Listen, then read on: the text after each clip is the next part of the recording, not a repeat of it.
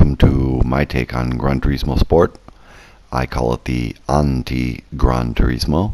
Um, it flies in the face of everything we know is what Gran Turismo has been in the past.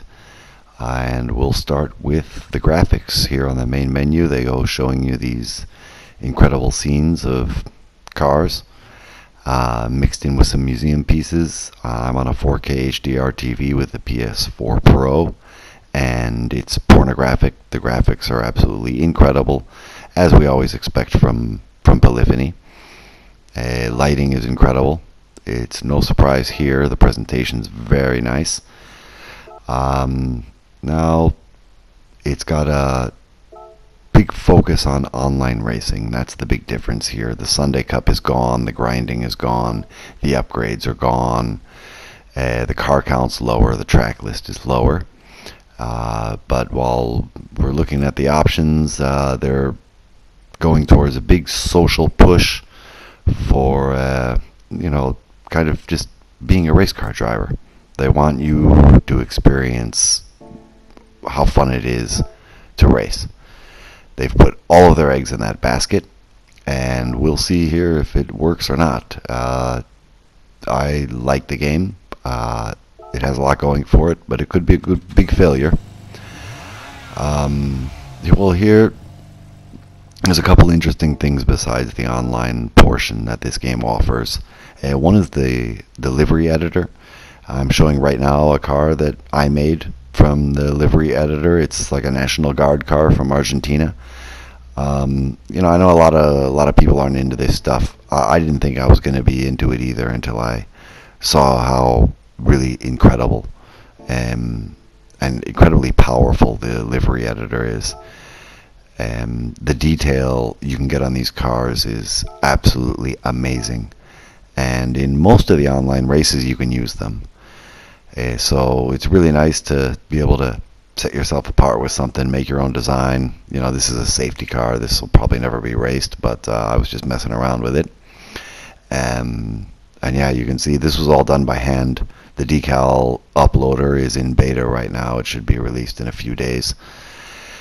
Uh, but uh, I mean, just look at the license plate. The the amount of detail I was gonna I was able to get into the license plate is pretty incredible. Uh, you know, just another testament to how Polyphony Digital are true graphical wizards. I'm on a Logitech G29 steering wheel with the optional uh, stick shift. And one big issue with the options is you cannot calibrate the wheel or the pedals at all. It's uh, it's really annoying. It's something that's been in the history of, of GT games, and they haven't fixed it yet.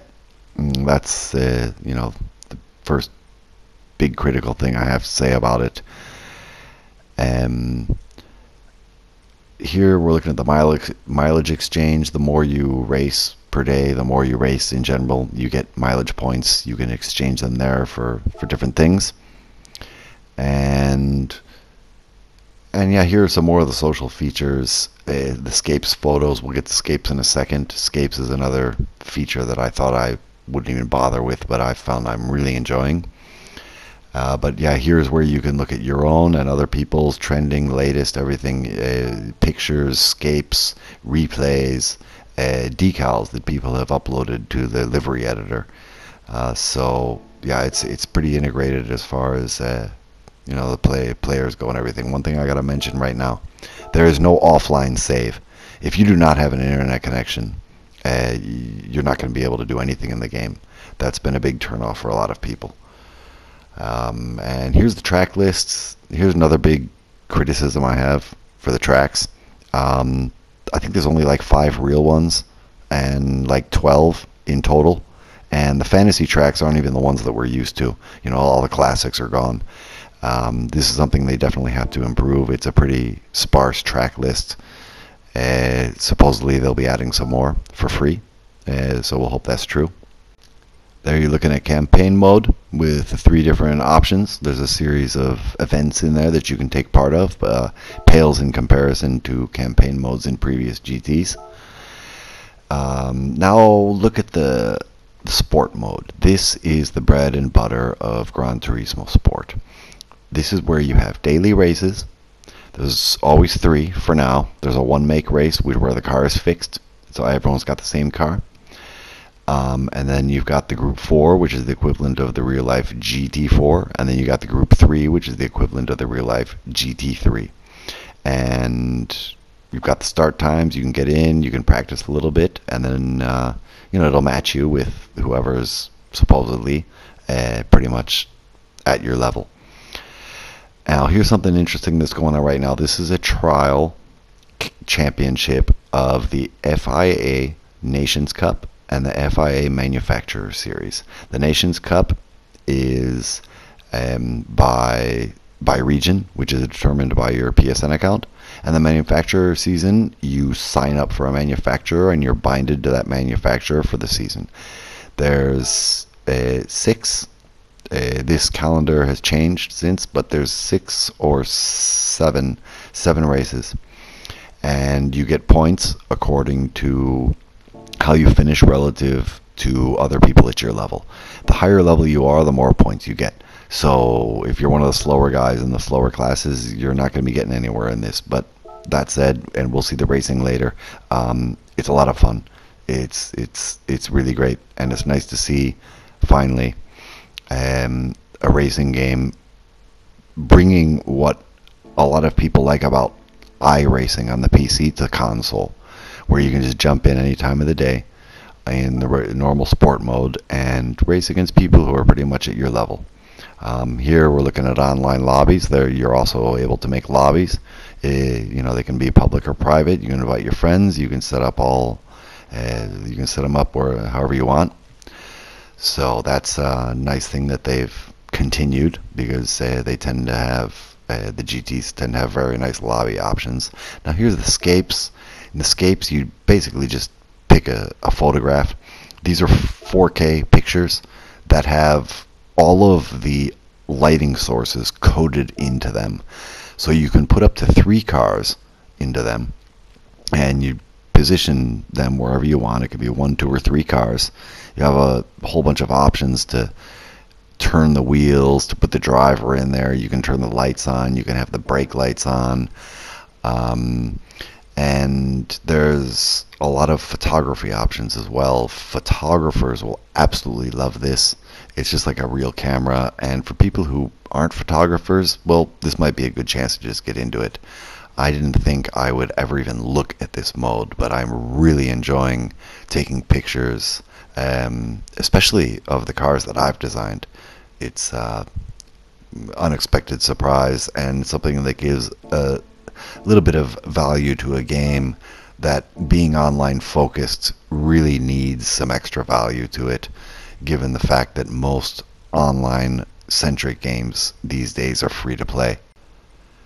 So I guess another criticism could be the low car count. There's about 150 cars, but they're not all unique. You've got a lot of they're not exact duplicates, but you've got duplicates among different classes. Like for example, you've got the Subaru WRX STI road car and the GT4 car and the GT3 car.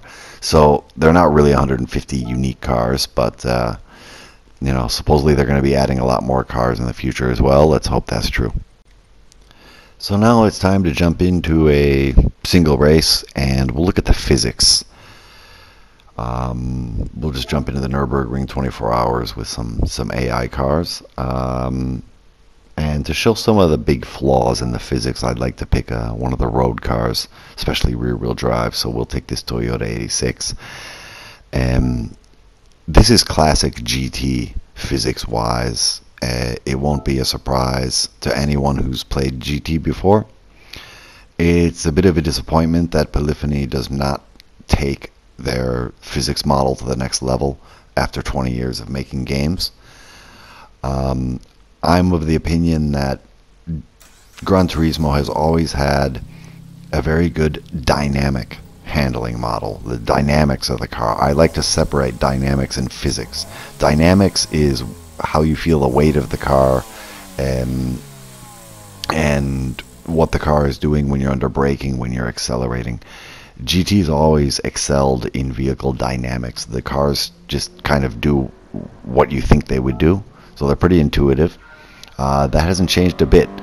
And the physics, yeah, the physics continues being subpar, especially now that there's uh, some pretty hefty competition with Assetto Corsa and Project Cars 2. Um, there's another criticism I have the cockpit view. There's no way to edit the HUD at all except for just turning stuff off. It's extremely convoluted. You've got the the race standings blocking the mirrors. Uh, you've got all of this duplicate information down there below the dials. And another thing, um, cockpit views are really immersive and everything, but they're not very realistic. Anyone who's not playing on a triple screen or a VR setup, you're you're kind of not doing yourself a favor with a cockpit view. You're totally limiting your field of view. Um, you're blocking a little bit more of your peripheral vision, which is already um, at a minimum on a flat screen TV. And so I don't use it. I wish they had you know some more dash cam options or something like the the dash cam in Assetto Corsa, the dash cam in Dirt Rally, or the options that Project Cars have to get you really close to the windshield. Uh, I would love that. So the, you know, I mean, my go-to view in Gran Turismo is still the bumper cam, in spite of the fact that you feel like you're kind of floating in the air. Um, now, here we'll just look at something really weird in the physics. Okay. Uh, you can see that changing from first gear to second gear in this car with traction control off, it just takes forever. So here's what I'm going to do. Now I'm going to try it with the clutch and the stick shifter. Um, so yeah, having trouble getting it into gear.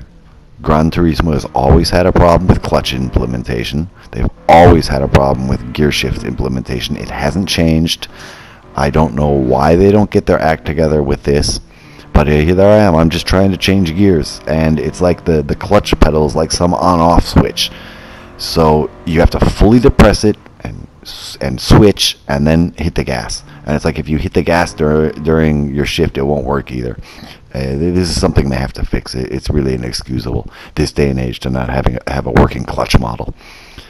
And um, so well, here's another thing that's really weird about the physics. Let's just uh, let's roll backwards downhill, right? Uh, first gear, sixth gear, fifth gear, whatever you want. The car just keeps going. Now, I get on the gas, right? Get on the gas. Let's put in yeah, third gear on the gas, full on the gas, and car's not doing anything. Nothing. So there. Now I start accelerating. And here we go with another standing start. This is another issue with the Gran Turismo, and I think it has something to do with the tire model. And it's really hard to step the back end of a, a car out when, on a standing start.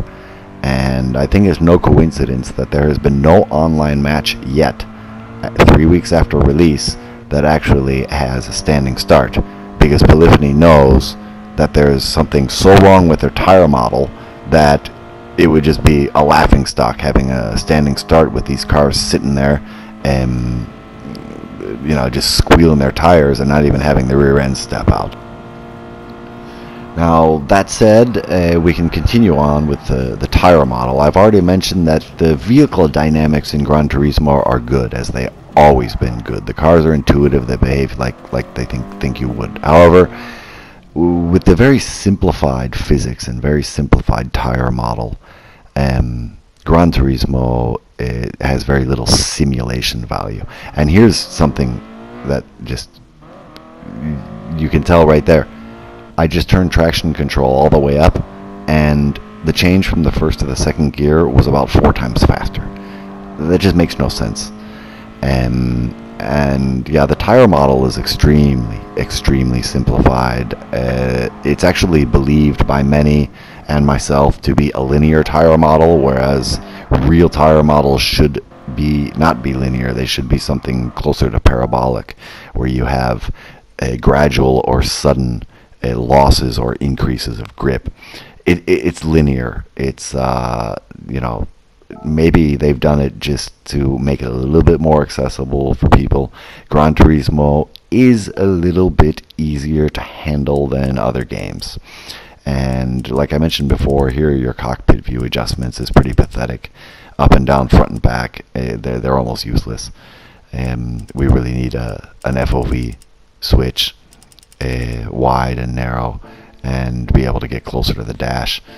But uh, so yeah, this simplified tire model, you know, there's you got to take Gran Turismo for what it is. It's it's always been trying to do the same thing with their physics and the tire model, and you know, I'll criticize it, and I'll criticize it a lot, but you got to take Gran Turismo for what it is and what it's trying to do right here in this game.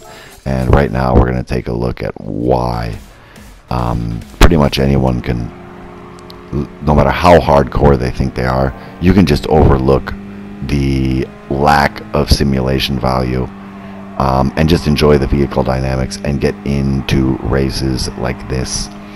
Um, the races are surprisingly clean, they're surprisingly close, they're incredibly entertaining. Uh, I've never had an experience like this in console ever where at any time of the day you just jump into one of the sport races. It'll match you with some people that are pretty close to your skill level and very close to your safety level. And the matchmaker will set it up so that you have the best possibility of uh, having fun. Uh, it's in spite of the past GT games being bumper cars with the AI I'm surprised to see that the vast majority of drivers are very clean. There's some really close racing. There's some side-by-side action, sometimes three wide. Everyone, in general, is very respectful.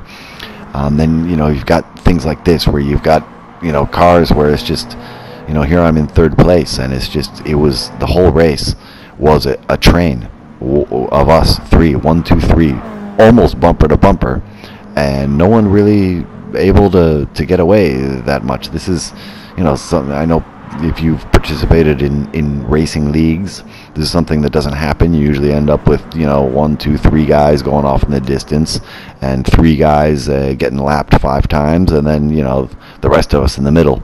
Uh, you know, the difference here is if you're one of those guys that's always in the middle, you're all one of the guys that's always in the back, uh, you're still going to have people to race with. And you know, for you aliens out there, you're going to be grouped with aliens. You're always going to have, uh, a, you know, someone to race with that's pretty much near your skill level. It, it's really well done. So what Polyphony Digital is has created here, you know, I wouldn't even call it a game. I wouldn't call it a racing game. I wouldn't call it a racing sim. What they've put together is a platform for online automobile competitions. Um, and that is where this game shines. This is what makes Gran Turismo Sport really special. There is not an experience anywhere near this on console. Uh, there's pretty high player counts for now. Hope it stays that way. Um, it's quite clean. There's virtually no lag. Um, and, you know, do I have some criticisms for this system? Yes, of course I do. It's region locked, so the Americas are with the Americas, and Europe and Middle East is with Europe and the Middle East, and the Far East and, and Australia and New Zealand are with the Far East and Australia and New Zealand. Um, there are times of day where you can tell there are low player counts because you'll be matched with a couple people a couple levels above you and a couple people a couple levels below you. Um, I think they need to get rid of the region lock and move more towards an IP detection scheme, but uh, you know, for now it works, and as long as there's players, well, the game will work. Uh, but while we're on that subject, um, let's get to what could turn this game into a huge failure. First of all, I don't think this game is worth a AAA $60 price tag. In this day and age, games that focus on online, things like World of Tanks, um, they're free to play, and they also don't require a PlayStation Plus subscription. There have to be, there has to be people playing this for this to be successful. So the first thing they needed to do is drop the price. I, I really don't think this game is worth $60 except for the hardcore GT fans. Um, I would say 30 40 would be a good entry point maybe to drop down to a steady 20 within you know six months I think that would be enough to get a lot of people on board. The only reason I'm saying it's worth money at all is because of the scapes and the livery editor. That's something you just don't get anywhere. Okay, so right there we saw an exception to the clean racing rule. This was uh, one of the FIA championship races that for some reason had a huge spread in driver rating.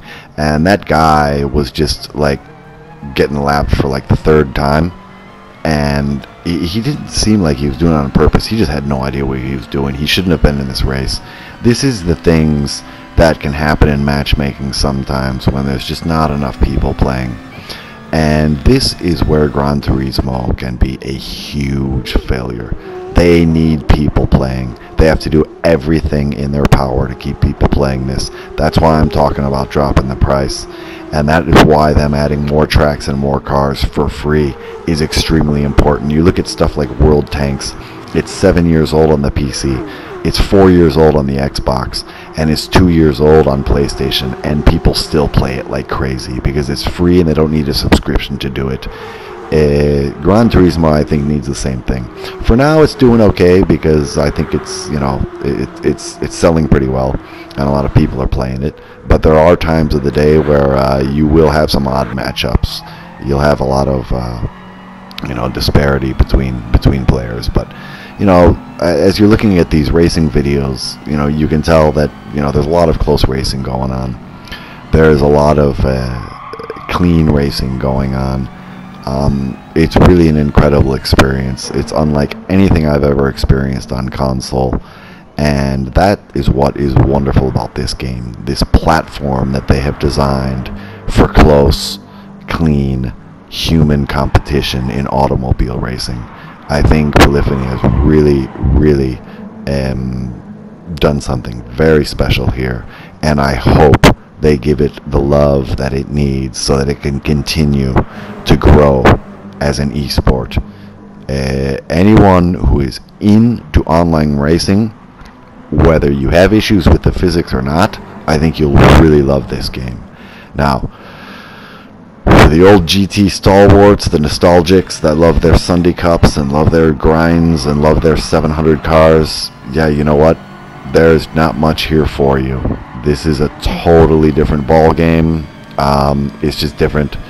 Uh, Forza 7 is your alternative to Gran Turismo now. I'm sorry to say it, but that Gran Turismo, at least for now, it's gone. Uh, this is what you're looking at is Gran Turismo right now. I personally love the change in this series. I think this is what the series needed. I think this is what racing needed on consoles. Uh, but yeah, there's a lot of people that will not agree with me, and you are completely in the right to disagree with me. You know, Gran Turismo has lost something, but it's also gained something. It's just different. So, uh, like to mention the sounds. Um, tire squeal is still a little bit annoying, but it is important in this game because there's the the feedback on the steering wheel is a little numb, and braking is still kind of ridiculously numb in this series. You just you don't have any idea when the car is locking up or what it's doing. So the tire squeal, despite being annoying, it, it, it is very informative and it's a necessary evil in Gran Turismo. I would have liked a little more simulation value. Uh, you know, the game the game lacks in simulation value, but the the vehicle dynamics are, are, are more than enough to make the driving experience enjoyable.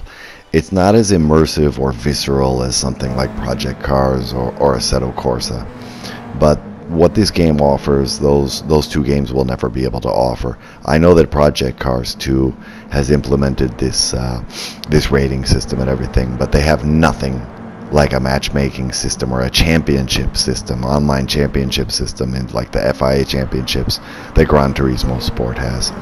Uh, th- there's really nothing like this.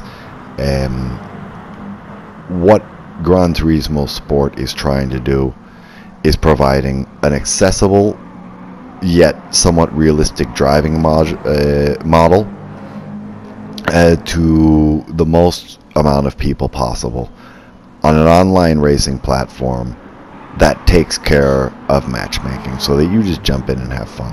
And it's really working. And it it's it, I, I don't know I, I can't praise it enough. And I really hope that Polyphony uh, takes care of this game because they got something special going on. Uh, there's no dynamic time. There's no dynamic weather uh, sometimes the, these days with games being so complex it's probably a blessing in disguise I think because it just prevents those things from interfering and causing weird bugs and inconsistencies in the physics and the vehicle dynamics. So we're looking at a game that is not trying to do a whole lot, but what it is doing, it's doing very well. I highly suggest picking it up for any racing car fan, and I think pretty much anyone who, who loves cars and loves driving is going to love this. You got to take the physics with a grain of salt. You got to overlook the short track list. You have to overlook the car count. You have to look at what this game is trying to do, and that is completely different than anything else out there. You will not find anything like this anywhere out there. If you're into online racing, you would be totally retarded not to pick this up. If you're not into online racing, well, man, I'm sorry, but I think it might be Forza 7 time. Anyway, thanks for watching, everyone. Until next time, bye bye.